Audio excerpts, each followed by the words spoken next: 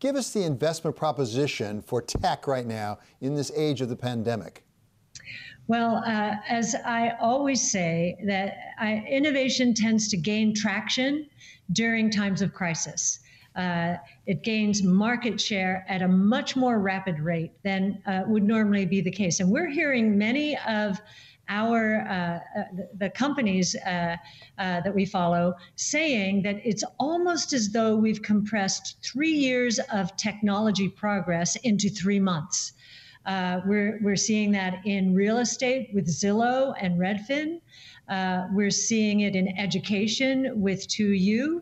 We're seeing it with some of the infrastructure providers. The obvious plays here, of course, Netflix and Amazon. Retail online is, is going to gain much more share here.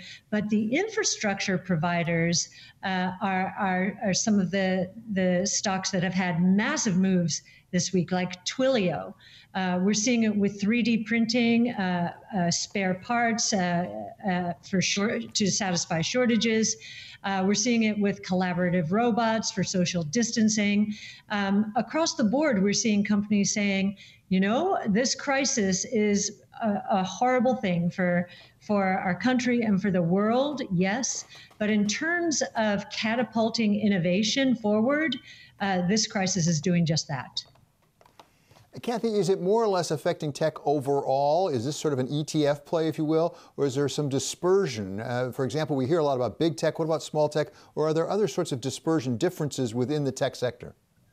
It's been interesting to watch small caps. They have underperformed uh, and I think a lot of that has to do with financial resources and fears about the future. Are we going to get, will they have enough uh, in the way of resources to get from here to there?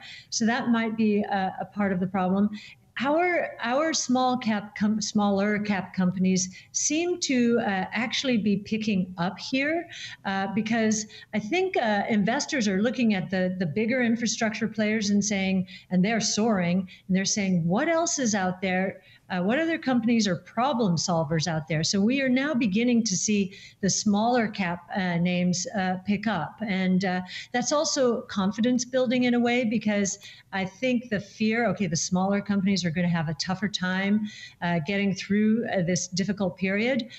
the fact that they're now picking up, I think, is confidence building not only for us in terms of our portfolios, but I think generally, I think there's light at the end of the tunnel. We're hearing that from a lot of companies. Uh, Cathie, we've talked to you in the past about Tesla, a stock that you have liked quite a bit. We just yeah. heard from GM's CFO, Dhivya Suryadevara, that they're not backing off an investment in EV. How does this pandemic leave Tesla?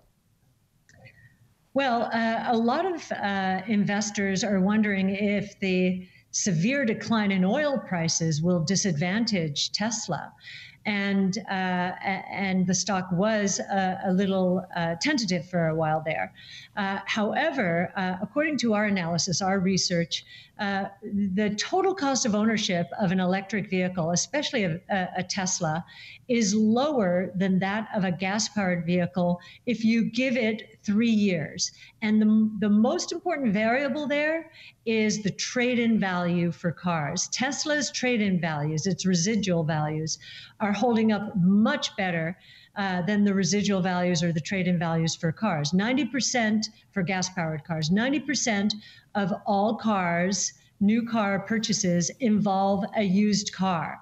And what's happening here with Hertz and uh, Avis is they are in such financial difficulty that they have been forced to sell some of their fleets into the used car market. So the used car prices have started dropping at an accelerating rate, which means that the residual values of cars or the trade in values are dropping uh, accordingly. So that, that the residual value going down that much is actually a plus for Tesla, whose residual values are holding up.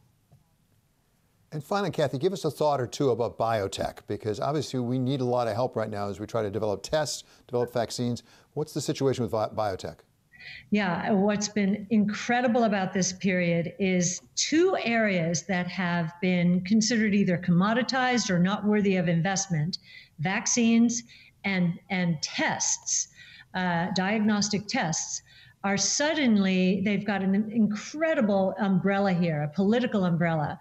Uh, they used to be punished regularly because of attempts to get uh, uh, drug pricing down, uh, all kinds of healthcare pricing down.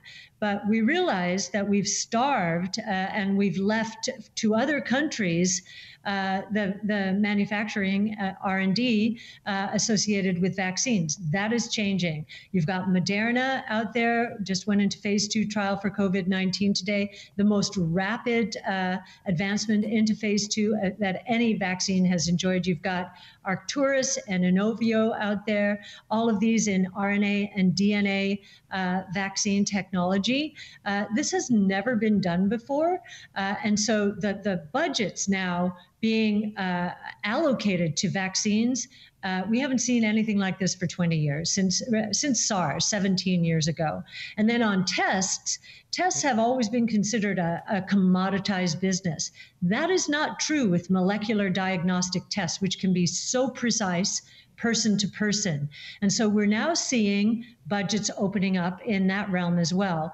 And the whole genomic revolution, we think, is going to gain more traction because of the COVID virus and uh, the imperative to develop vaccines and tests. Uh, so, again, another case in point when innovation is gaining traction during a very tumultuous and unfortunate time.